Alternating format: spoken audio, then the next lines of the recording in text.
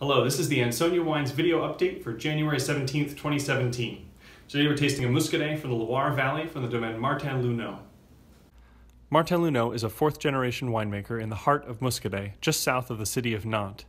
We actually discovered Martin Luneau on the menu at an outdoor cafe in Nantes. This cuvee is from Clisson, which is a new classification in the Loire Valley where they have elevated three towns to cru communal status. This wine is very dry, there's lime and melon in the nose. The mouth is really brisk and clean. Uh, it's kind of a saline freshness.